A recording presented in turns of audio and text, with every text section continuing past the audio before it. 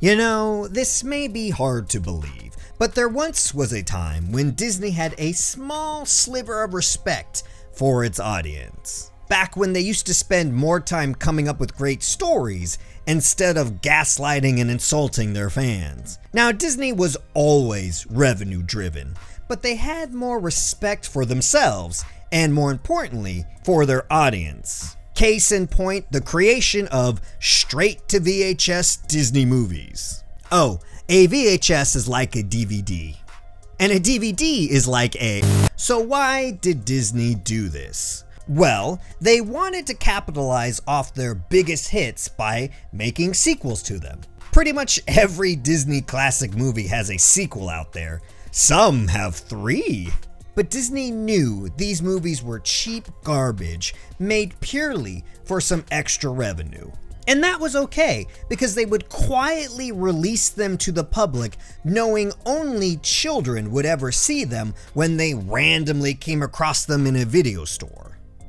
Oh, a video store is a place, and the beauty of it was that most people would never know these movies ever existed. This allowed Disney to keep its shiny legacy with the general audience while providing throwaway content that kids could have on in the background while they downed another bottle of Elmer's glue.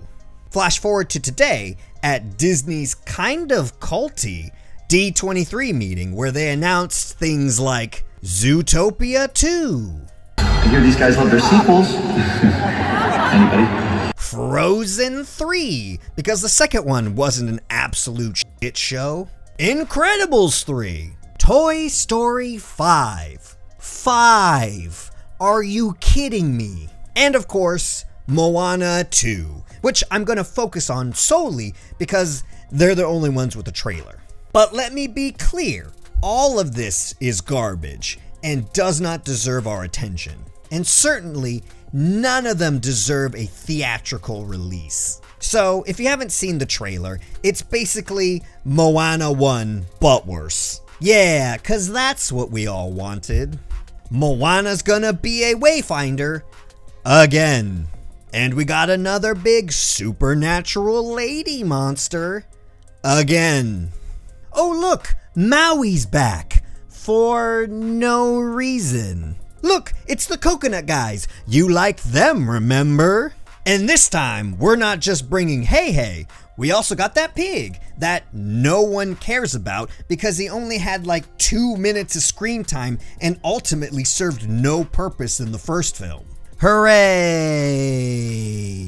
This is purely just filler, garbage content for Disney to raise some extra revenue, which is fine trash movies like this have a place. It's called the dumpster or Disney Plus. My point is, stop trying to pass off these poorly made, straight to VHS movies as great theatrical releases. It's embarrassing and ultimately disrespectful to all of us.